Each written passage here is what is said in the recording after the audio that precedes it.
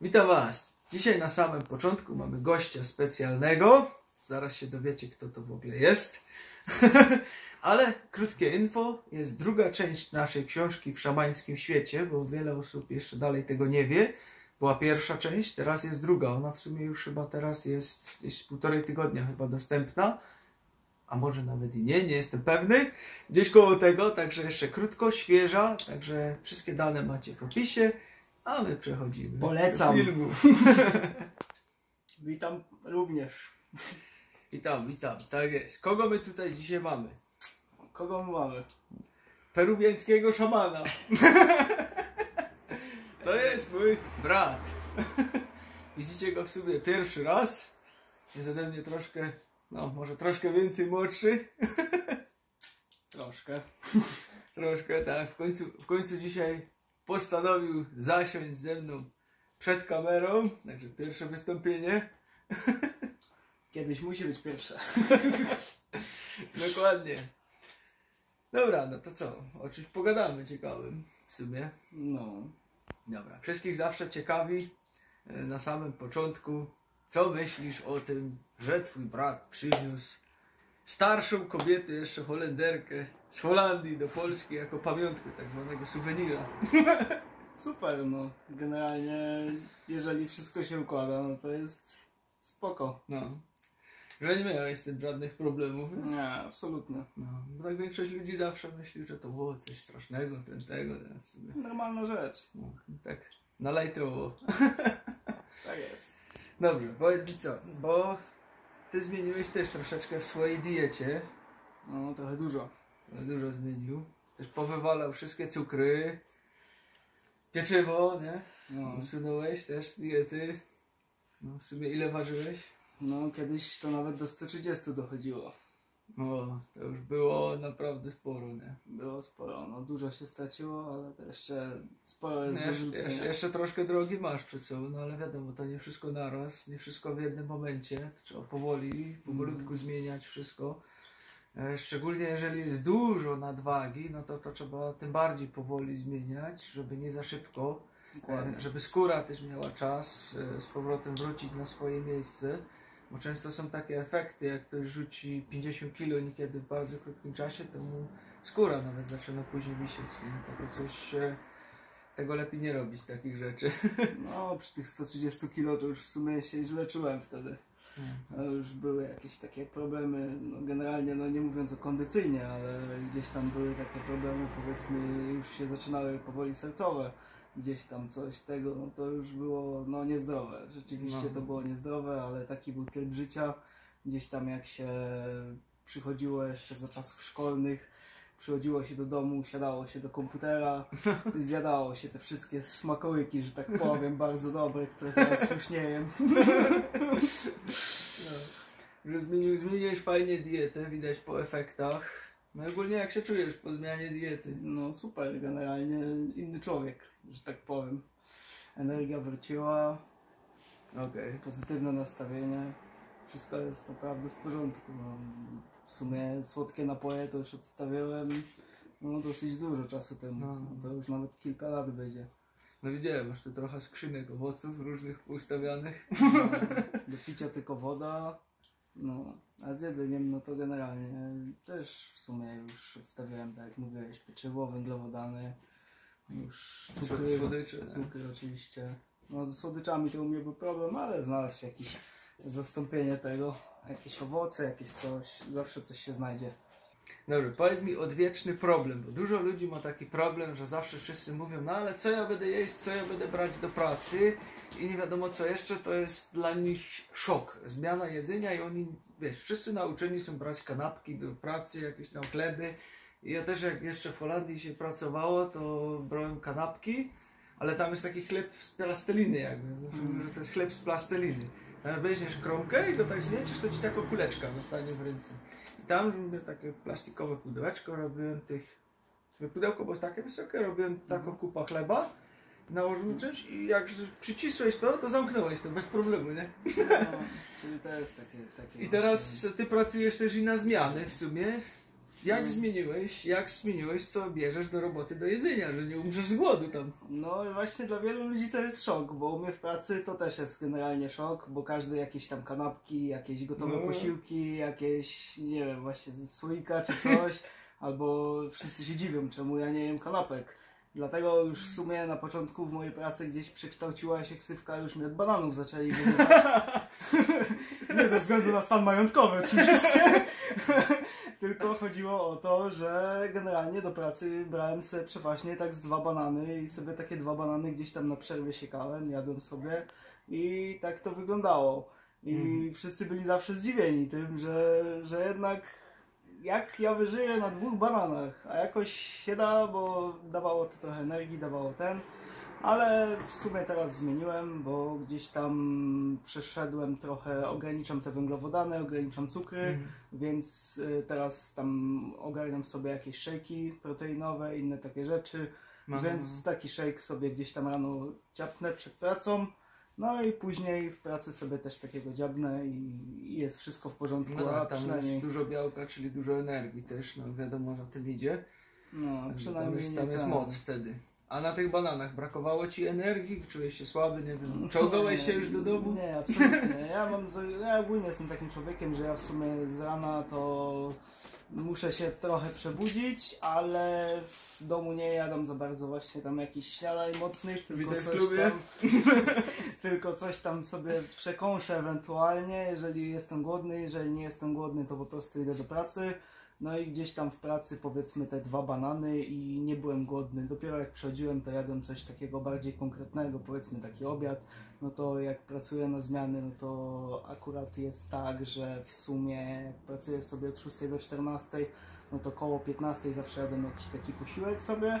No a jak pracuję na drugą zmianę, no to gdzieś tam jadam sobie przed, przed pracą, a później sobie dziabnę tego szejka w pracy tak na spokojnie do No, popicia. no. Także myślę, że nie ma raczej z tym problemów i, i wszyscy są zawsze właśnie zdziwieni, tak jak powiedziałem gdzieś tam, że wszyscy sobie ucztę robią, jak tu się wyrobić w 15 minut, żeby zjeść, a ja sobie szejka wypijam w 2-3 minuty albo banana zjem i jestem gotowy praktycznie. No tak, tak. No właśnie, to jest, to jest właśnie to, to jest ta zmiana jedzenia. A powiedz mi jeszcze, jak zmieniłeś tych e, bananów, na przykład na tego szejka, czujesz jakąś różnicę energetyczną, coś tego? Wiesz co, powiem Ci szczerze, że w sumie po tych szejkach nawet lepiej się czuję.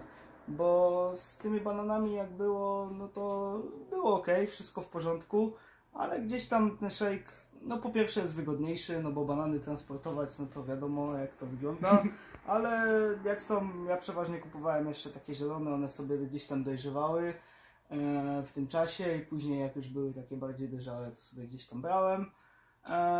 No a z energią, no wydaje mi się, że po tym szejku też jest wszystko w porządku i wydaje mi się, że nawet jest lepiej.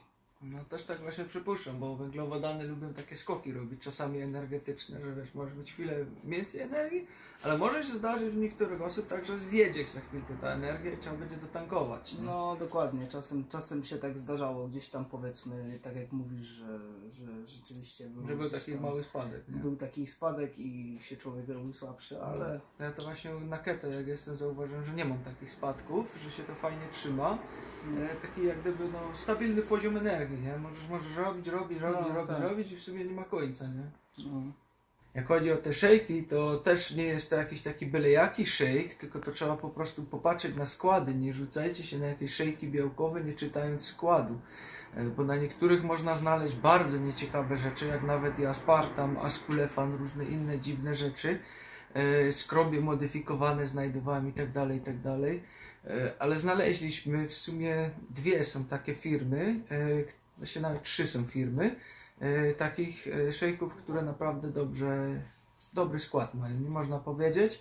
I to nie są szejki oparte na zwykłym białku, tylko na izolacie. A izolat już działa całkiem inaczej, ponieważ on jest iz- odizolowany i to już jest czyste. E, Tam już nie ma innych substancji, które też e, się pojawiają w zwykłym mleku czy coś. To jest usunięte z tego. Tu wiele osób nie ma żadnych takich problemów, e, które miałoby na przykład po wypiciu zwykłego takiego białkowego tego. Szejki białkowe można robić też inaczej, ponieważ są różne jeszcze roślinne e, białka, które można czyste sobie kupić i można je sobie nawet samemu coś tam porobić z czymś. Także tutaj też e, jest droga otwarta. Można wziąć garść borówek, one się też nadają na keto i wrzucić po prostu takich protein. E, Są bardzo popularne z groszku, z jeszcze jednej takiej rośliny, której nazwy znowu nie mogę powiedzieć, z wiadomych przyczyn, bo zaraz by było po filmie. Tam też robią z tego takie fajne białko i to też można do tego dodawać i no w sumie to jest bardzo fajna energia na tym wszystkim. Ale jeszcze jedna rzecz. Ty kiedyś miałeś olbrzymie problemy z trądzikiem. Zresztą ja też miałem, bo ja miałem całe plecy wysypane e, kiedyś. I najgorsze to było, jak się wchodziło gdzieś do klasy i jak to kumple zawsze siema!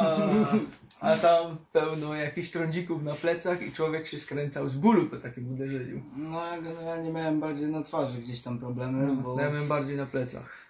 w sumie właśnie jak był taki okres gimnazjum u mnie, no, czyli dobrych kilka lat temu, e, jak nie kilkanaście w sumie, nie wiem. No nie wiem też w sumie. E, no ale nieważne, generalnie gdzieś tam miałem bardzo problemy na twarzy z tym.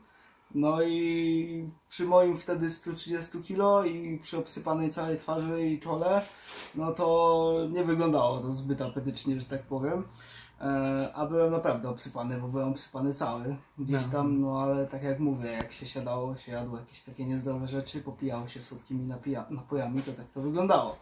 A gdzieś tam jak ograniczyłem te węglowodany, ograniczyłem cukry, no i wywaliłem całkowicie pieczywo ze swojej diety, co jest dosyć ważne, e, no to rzeczywiście te problemy z trądzikiem mijają i jest to zauważalne dosyć bardzo, bo, I dosyć szybko nawet, nie? bo u mnie gdzieś tam zawsze był ten problem i jakoś to, no, że tak powiem, nawet nie było lekko, bo gdzieś tam ludzie się z tego śmiali, gdzieś tam No coś ten, tego, tak to wyglądało, że, że gdzieś tam byłem już powoli wytykany palcami, nie? Także, także no coś trzeba było z tym zrobić, ale na szczęście brat zaradził, bo zawsze moja dieta zmienia się wtedy, kiedy on gdzieś tam coś jakoś we mnie zaszczepi tą, Jakiś pomysł. tą, ten pomysł, tą energię gdzieś tam pozytywną i wszystko się fajnie wtedy zmienia, nie? Jakoś można zmienić te swoje żywienie i, i naprawdę można na tym spokojnie wyżyć i, i wszystko jest okej, a zdrowie jakby się poprawia, nie? I Dokładnie. skóra i wszystko. Także myślę, że to jest całkiem w porządku. I tu jest jeszcze ważny punkt, ponieważ dużo ludzi pyta. Ja miałem takich ludzi, którzy pytali kilkanaście razy, jakie zioło na trądzik, jakie metody na to, e, jak to usunąć i tak dalej, i tak dalej. Za każdym razem coś im tam mówiłem, ale zawsze podkreślałem, że ważne jest jedzenie przy tym, żeby to zmienić. Jednak wiele ludzi jest takich, którzy tylko pyta, dostają tą odpowiedź, ale nic z tym nie robią. Ty mnie zapytałeś, dostałeś odpowiedź, ale coś z tym zrobiłeś. No, że tak powiem, ty mi dałeś wędkę, a ja sobie złowiłem rybę. o to w tym wszystkim chodzi. To nie chodzi o to, żeby sobie kupić gotową rybę, tylko żeby samemu ją złowić. Właśnie, Gdzieś tam coś, wykonać coś, coś trzeba samemu zrobić w tym wszystkim. To nie jest tak, że to się samo zrobi. Co prawda wędka była dobra, no ale... ale ryba smakuje jeszcze lepiej. Otóż to. Także generalnie podsumując, to każdy musi gdzieś tam ten krok sam wykonać i musi coś zmienić w swoim Tak. życiu, a nie tylko gadać i narzekać, jak to ludzie mają w zwyczaju. No, No bo to niestety samemu nic nie przyjdzie, a że tak powiem, no trzeba jednak gdzieś tam Tak. Tą swoją inwencję wykazać i, i coś zmienić i chcieć to zmienić. Tak, to jest tak, najważniejsze. Bo tak jak mówisz, te pytania gdzieś tam się pojawiają, ludzie nic z tym nie robią. Ja w sumie też tak kiedyś miałem i no mówię, że no co mi tam będzie ktoś mówił, jak mam własne zdanie, nie? no, No, ale generalnie gdzieś tam się przekonałem do tego, więc no, sytuacja się zmienia i lepiej, lepiej coś zmienić zawczasu niż później gdzieś tam żałować. Dokładnie. Bo gdybym ja tego nie zmienił na czas, no to różnie mogłoby też być, bo się No. pojawiły jakieś problemy zdrowotne i, i nie byłoby za ciekawie. No. Wtedy to już wiesz, przeważnie coś ludzie zmieniają, jak już jest za późno, nie? A, a tu jeszcze na czas zmieniłeś coś, e, po prostu wyszłeś ze swojej strefy komfortu, pomimo, że nie byłeś zmuszony jeszcze aż tak mocno do tego, No nie. A jednak zmieniłeś. No i to jest No, właśnie fajne. Gdzieś tam zmiana też trybu życia do tego doszła, no bo tak jak mówię, gdzieś tam na tym etapie szkolnym, no to było jednak takie no, szkoła, gdzieś tam się siedziało cały czas, Tak, nie tak, było tego ruchu. Gdzieś tam poszedłem do pracy, no to te kilogramy w sumie zaczęły same lecieć, jak się zmieniło i dietę i do tego się dołożyło trochę takiego zwykłego ruchu, takiego, który No. jest w pracy gdzieś tam I to naprawdę poleciało w moment. Nawet się nie obejrzysz. Ludzie teraz gdzieś tam ode mnie z pracy mówią, że jak na początku przyszedłem, to wyglądałem jak Hagrid. Wiesz, moja roda gdzieś tam włosy kręcone, do tego gdzieś tam dłuższe, gruby, ten, tego, także no gdzieś tam zmiana jest i ludzie to widzą. Ludzie mi mówią, że gdzieś tam połowy mnie już nie ma, nie? No, no 130 Także- kilo to jest naprawdę dużo. To jest naprawdę dużo. Gdzieś tam przy moim wzroście ja nie jestem zbyt wysoki, bo gdzieś tam chyba 1,75 m. Także no No. to, to było To było naprawdę sporo. sporo. Spory balast do dźwigania Spory balast. Tak. Gdzieś tam jak zakładam jeszcze bluzę z gimnazjum, co mam, no to teraz tam druga osoba by do niej weszła. No, to też takie, te koszulki niekiedy biorę jeszcze to takie stare, to... To jeszcze nie jest to, co ma być, ale już jest na dobrej drodze i myślę, No, że... już poprawa jest ogromna. nie? Myślę, że gdzieś tam się to jeszcze zmieni i mam nadzieję, że będzie wszystko w porządku. Super. Powiedz, co myślisz o tym, czym się zajmuje Joas, na przykład z żonką? No, super generalnie sprawa i bardzo, że tak powiem, młodzieżowo mnie to jara, bo, bo no to jest fajna sprawa, gdzieś tam jakieś takie połączenie hobby z pracą, gdzieś tam do tego dochodzą ciekawe tematy. Em, Pomaganie ludziom przede wszystkim, no to też jest gdzieś tam w moim odczuciu bardzo dobre i sam to lubię robić. Więc jak najbardziej popieram, a zawsze gdzieś tam jak przyjeżdżę, że jak tam czasem kogoś spotkamy, no to jest zupełnie inne towarzystwo, nie? Teraz na ulicy to tylko tak No siema, tak, po, po, pozdrawiamy pana Andrzeja, którego przed chwilą spotkaliśmy tutaj, który wyszedł z BMW, zatrzymał się na środku ulicy Dokładnie. i mówił, ja nie wierzę, że was widzę. Także No. takie sytuacje się często zdarzają. Też parę takich z nami miałeś, nie? No, ale to jest właśnie fajna taka pozytywna energia gdzieś tam, jak nawet ludzie mnie nie znają, a gdzieś tam byłem z bratem i Mhm. jakieś uściski, jakieś coś, Tak, tak, cał, zawsze całkiem jakieś, inna energia. zawsze jakieś przytulenie, coś tam, no to jest zupełnie, zupełnie inna energia, naprawdę inni ludzie, tak na co dzień, a zupełnie inaczej to wygląda jak brat przyjeżdża, to zawsze gdzieś tam jestem szczęśliwy, bo mówię, że zawsze gdzieś tam ta pozytywna energia zostanie zaszczepiona. Tak. To jest najważniejsze, no dokładnie, ta pozytywna energia, także wysyłamy wam całą masę pozytywnej energii. Dokładnie tak. A nie zdziwiłeś się, że książki, żebym napisał? No, powiem Ci, fajna sprawa. Generalnie, że te książki są szczególnie w, w fajnej formie i dużo jest w nich super informacji, takich, których są przydatne i można je zastosować. No. Więc książki są naprawdę, naprawdę super gdzieś tam i polecam. polecam książki, bo naprawdę są mega przyjemne do czytania i Fajnie. można dużo z nich wynieść. Nie? Właśnie to był taki fajny cel, żeby tak zrobić. Bo Na początku wszyscy chcieli napisz książkę, napisz książkę. Ja mówię, kurczę, na rynku jest tyle książek. Ja mówię, po co ja będę pisać jeszcze jakąś książkę, nie?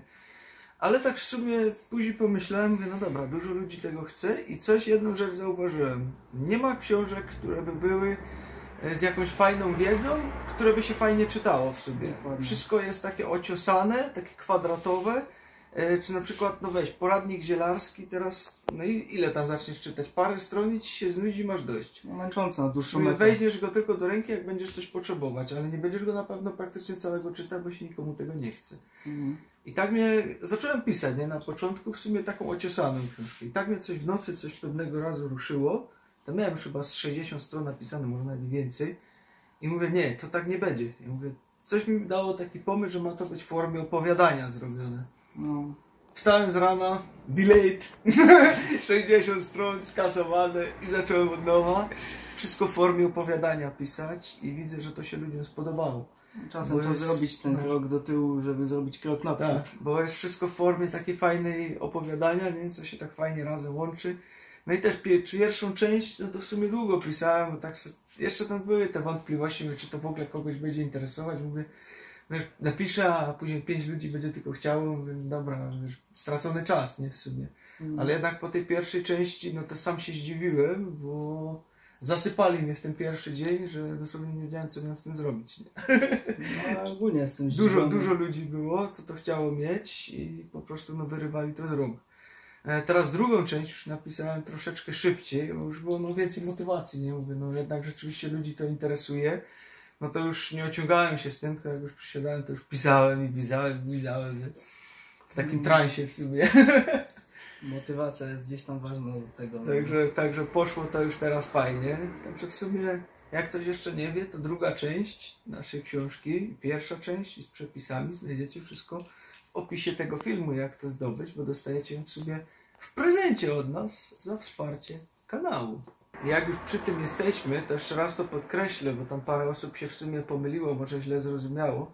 E, Do pierwszej części w szamańskim świecie jest audiobook, ale do drugiej nie ma audiobooka i na razie nie ma go w planie, bo tam nie było dużego zainteresowania tym, ale było parę osób, które chciało audiobook 2, ale on nie istnieje i po prostu zwróciłem e, to wsparcie, żeby nie było, że coś wziąłem za nic. Także do drugiej części nie ma audiobooka i na razie go nie ma w planie. Po prostu zostało tak, jak to jest. Jeszcze ta książka z przepisami, do niej też nie ma audiobooka, bo ktoś o to pytał, czy jest audiobook do przepisów, też nie ma. I ważna informacja, mamy chyba teraz 15 osób, które dalej nie podały maila.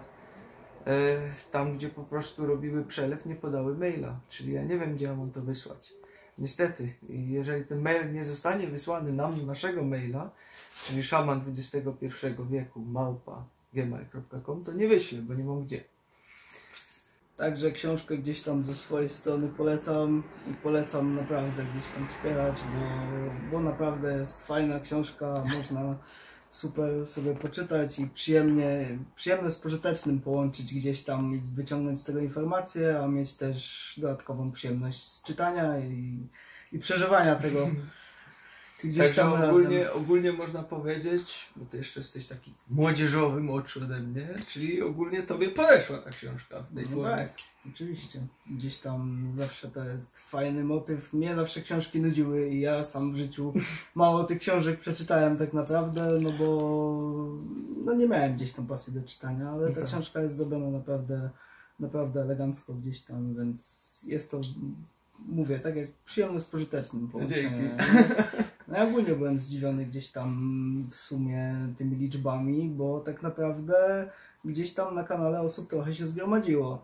A jest to temat taki dosyć no, nietypowy, chociaż bardziej przechodzi teraz, ludzie zaczynają w sumie gdzieś tam dbać o zdrowie, Mm, o swoje tak, żywienie. tak, No ale jednak yy, cały kanał gdzieś tam jest taki powiedzmy wyjątkowy na tym YouTubie E, i trafia jak widać do sporego grona osób i to w różnym wieku. Tak, więc, tak, tak, tak. więc naprawdę jestem zdziwiony, jestem zdumiony i, i no, gdzie też popieram, no, jakby nie mówić. No. Tak. Sam jestem w Nawet- młodszym gronie. No, nawet mieliśmy komentarze, że dzieci jakieś tam 5, 6 lat, 10 lat e, zaczynali albo sami czytać tę książkę, pierwszą część, w sumie tą drugą już teraz też, tę drugą część co jest, ale też i chcieli niektórzy, żeby im na przykład mama czytała przed spaniem, nie? Tę książkę po prostu jako opowiadanie, tam dziennie jakiś rozdział, nie? Tego, no to No. wiesz, że to naprawdę wielki sukces, nie? Bo dzieci, no to przeważnie, wiesz, nie sięgają po takie książki informatyczne,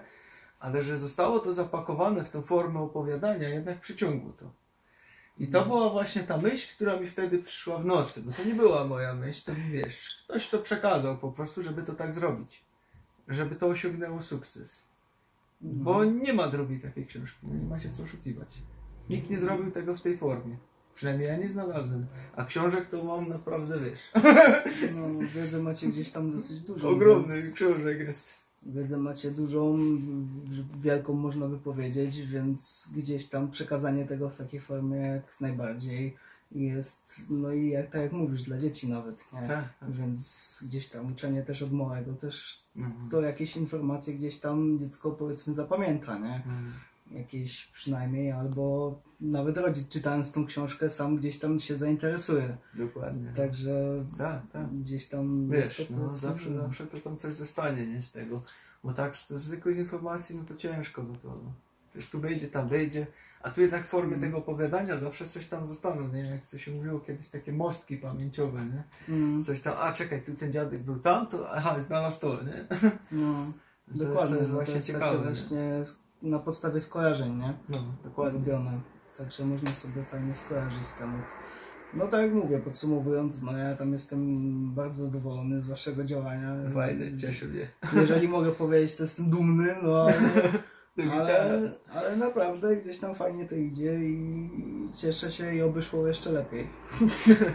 Super, Żeby dzięki. ludzie też się zainteresowali, żeby, żeby też coś zmienić jednak, nie? No bo tak naprawdę w sumie ja też zacząłem bardziej gdzieś patrzeć na składy rzeczy, na No, właśnie... to jest ważne, to jest jedna z najważniejszych rzeczy, te składy, nie? Wcześniej wchodziłem do sklepu, ciap, ciap, do widzenia, a teraz gdzieś tam stoję i studiuję. O, czy to ma cukier? Dobra, już nie chcę. To ci dużo zostaje, nie? Tych rzeczy, które można jeszcze kupić, wiesz. No, nie, Skądś ma, to znałem, nie ma tego aż tyle, ale jednak czasem się coś znajdzie, jak się, trochę znajdzie, posiedzi. tylko no trzeba to- poszukać, nie? Tak Dokładnie. myśmy kiedyś też zakupy robili w 10 minut w sumie, no to później jak zmieniliśmy, nie? To jedzenie to chyba stali, to z dwie godziny w tym sklepie zanim zrobiliśmy No, ale to z samego początku, bo jak później No. już masz jakieś sprawdzone produkty, Później no już to wiesz, nie? wchodzisz i później robisz tak samo, jak robiłeś z tamtymi, tylko Tak. że teraz już wiesz przynajmniej co i jak, nie? To z całej jednej takiej, wiesz, Wiesz, co regału, jeden produkt, który jest Mm. idealny, nie? Można wziąć, nie? A reszta to pasza. No. Jak to mówią, jesteś tym, co jesz, nie? O, też to. Dobra, to dzięki Ci za poświęcony czas w sumie, Nie ma sprawy. że postanowiłeś tutaj ze mną wystąpić. No, myślę, że kiedyś się jeszcze pojawię. No na pewno. Mile jesteś widziany. Mam nadzieję, że wersji jeszcze krótszej. No, to raczej się tak stanie pewnie, bo, bo widać, że to dalej ucieka, bo co tak przyjeżdżamy, to widać, że ciebie mniej zostaje. No to się, Także cieszę. jest to widoczne, jest to widoczne. Nie? to się cieszę w takim razie. Dobra, moi drodzy, także kto zainteresowany, rozwincie sobie opis. E, Tam macie jeszcze wszystkie informacje co do pierwszej części, do drugiej części naszej książki, książki z przepisami. Wszystko tam znajdziecie. Szkolenia, audiobooki tam rozwijać. I my tutaj uciekamy, także tyle na dziś. Trzymajcie się, hej! Pozdrawiam wszystkich. Specjalne pozdrowienia dla ludzi z pracy. Już nie jestem gdzieś tam bananem, więc teraz możecie na mnie mówić shake. Szejku! Dzięki za rozmowę, cześć. Cześć!